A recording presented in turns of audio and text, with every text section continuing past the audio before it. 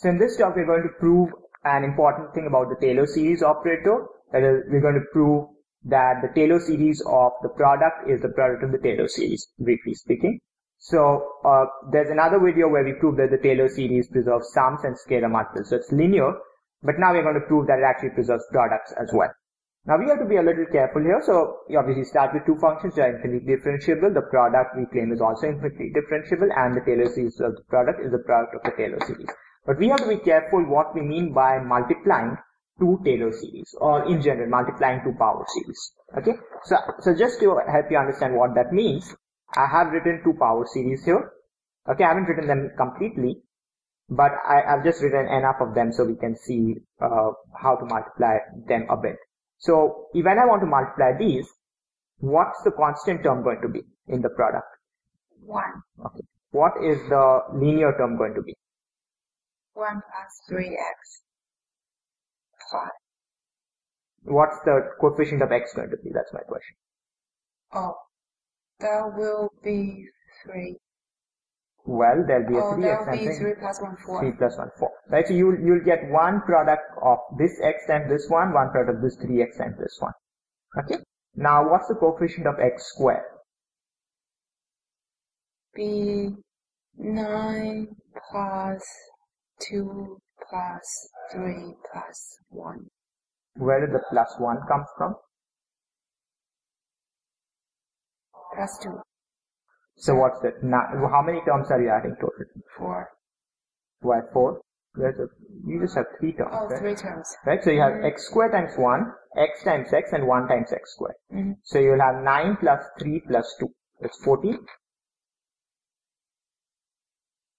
Hmm? Oh, yeah. 14. What about uh, the coefficient of x cubed? How many terms will you be adding up there? 5. No, 4. Right, each Oh, if I'm the always one more, one yeah. more, right? You're, Yeah. you're, you're, so it's 1 times 7 Yeah. plus 1 times 2 plus 9 times 3. 7 plus 2 is 9 plus 36. 27, 36 plus 1 times 1, 37. Now we cannot write down the later terms here because we don't know what the higher degree terms on these two sides are. Okay, good. But so you get the idea. You have to, you, you each, e, powers of x just multiply the usual way, but then you have to add up all the ways you could do that. Now, if instead of x I had written x minus x naught everywhere, the procedure would be the same. Okay? Mhm. You just treat x minus x naught as your x. Okay, good. So the key ingredient in this proof is, is this thing I've written here, which is, which follows basically from the product rule. And this is the product rule for higher derivatives, what I've written here, and it follows from the product rule for the uh, differentiation for the first derivative, just by induction. Okay, but first let's understand what this is saying, what the notation here means. So the left side is saying the nth derivative of the product of the two functions. Mhm. Okay, uh, what's the right side saying? What does this symbol mean? Well, I have it here. This is called n choose k and it's, it means n factorial over k factorial times n minus k factorial. Okay? Uh, it's basically the number of subsets of size k in a set of size n. Okay? Uh, so this is summation n choose k f n minus k g k. So this is uh, the n minus kth derivative of f times the kth derivative of g. Okay.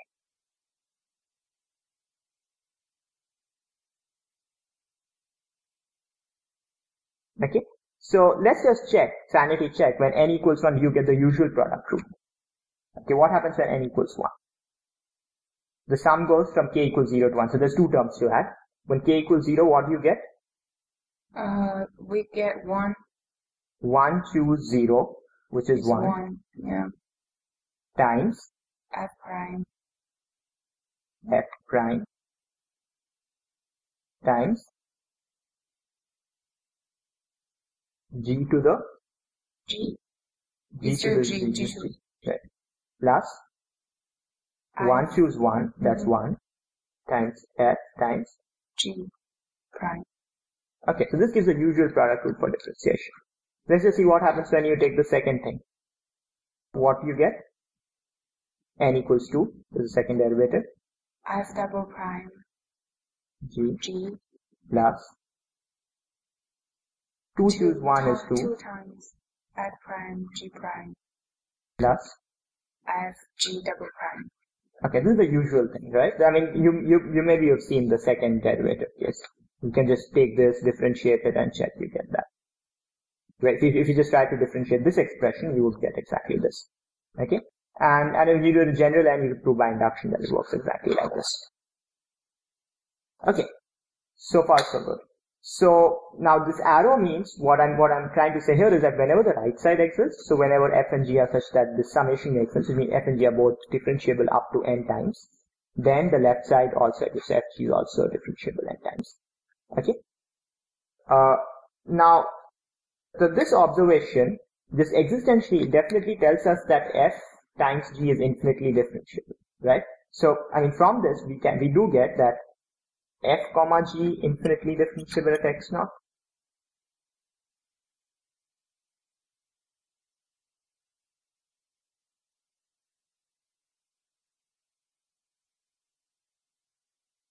implies the product is infinitely differentiable. You agree? Yeah. Why? Why is the product infinitely differentiable? So for every k, why is for every n, why is f times g n times differentiable? Hmm? Because f is n minus k. Yeah, I mean f is for all. I mean this this right side makes sense basically. So the Mhm. left side also makes sense. Okay. So in particular, what we are interested in actually is when you plug in the numerical value x naught here. I'll call this dagger where you plug in x naught So now it's actually an equality of numbers. And, and there's actually one such equality for every n. Okay. Now, let's now try to prove the Taylor series of the product is the product of the Taylor series. So let's write down the Taylor series for f at x naught. What's the Taylor series for f at x naught?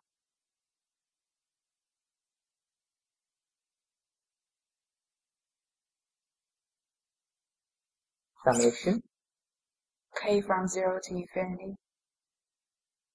f k. The kth derivative of f at x naught over k factorial times x minus x naught to the k.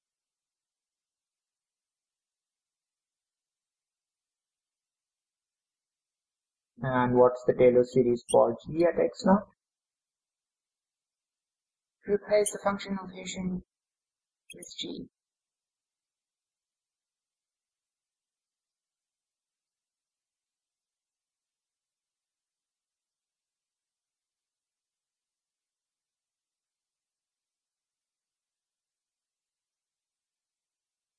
Okay, and uh, what's the okay now before I want to write down the Taylor series so f times g right now. What I want to do is I want to look at the product of these two Taylor series. Okay, and I want to see what is the coefficient of x minus x naught to the n in the product. Let me write that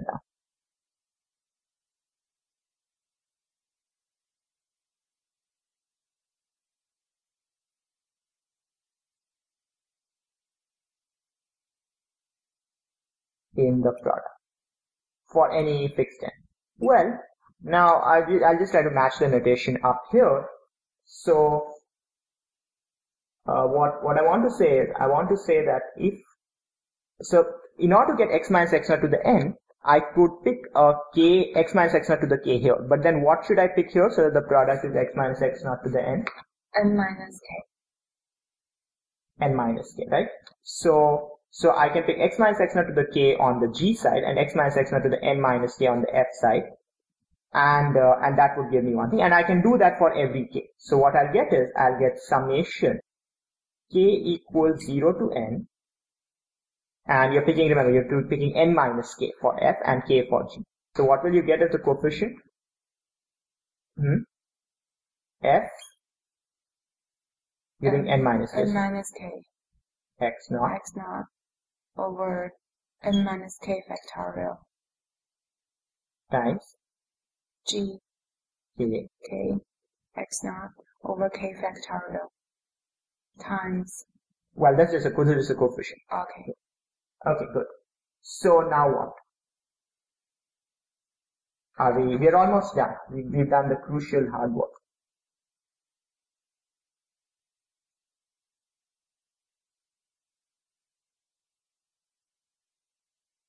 so what do we next need to do we want to show that the denominator of the coefficient which we just derived Mhm. equals to the expression. Okay, so, so, yeah, okay, so, so we have to tackle this n choose k business, right? Mhm. That's, that's the thing. And that's, that's the missing thing we have. But luckily we have n choose k is n factorial over k factorial times n minus k factorial, right? So you, we want to somehow use, use that fact. Okay? So, I want to rewrite this. Uh, can we do this? Can we do it here? Mhm. Right, this. So this, I'm, I'm going to, I now want to multiply and divide by n factorial. Okay?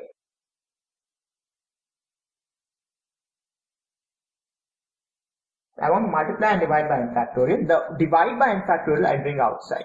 So I get uh, 1 over n factorial because n is a constant, right? The sum is over k. I mean, not constant constant, but it's constant for the summation.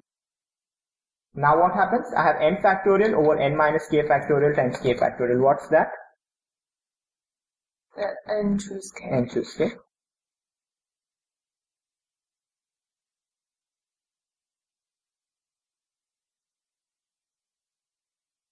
Are you here?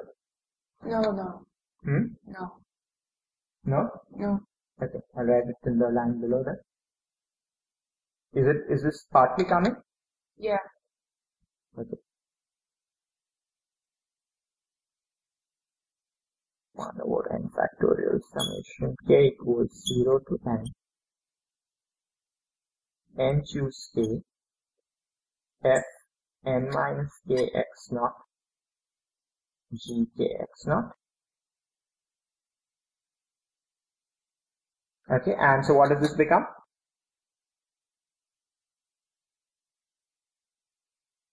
What can we use now for this summation? FG.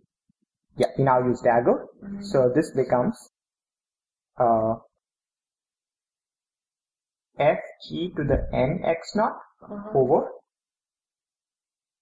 n factorial. Okay? Hmm? Yeah. Are you here? Is this it? Yes. Okay, good. So the coefficient of x minus x naught to the n in the product is fg to the n x naught over n factorial. Okay, is that exactly what we want? So now we can write the Taylor, the product of the Taylor series is therefore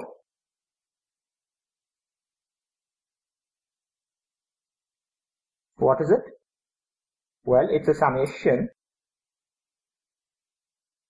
as n goes from 0 to infinity of this thing, right? fg to the n x naught over n factorial times x minus x naught to the n. Okay, and is this the same as the Taylor series of f times g? Yeah. By definition, right? We use k usually, but we are just using n. It's just a dummy variable, right? This is the Taylor series of f times g. So that is essentially the proof. Okay? Are we here? Is this all here? Yes. Okay, so it's a little messy, right? We, we have to use this product rule thing. And, and now you see the, that the product rule, remember, remember when you, when you first saw the, the product rule, right? You, it, it, it was a little counterintuitive, right? You said, oh, here's what it says. Fg prime is f prime g plus f times g prime. And it's, uh, it's not f prime g prime, right? That was the freshman product rule is not true, right? Mhm. And that seems weird, right? Uh, but but here we see that actually this this sort of somewhat weirder looking rule is actually the the correct rule that we need in order to make sure that the Taylor series operator is multiplicative. So although when you write as a product rule for differentiation it looks weirder, but when you think of it in these terms, it actually becomes nicer. Okay. So, so that's, that's what we have. So the Taylor series operator of a Taylor series product is the product of the Taylor series follows from that twisted looking product rule we have for differentiation. Okay.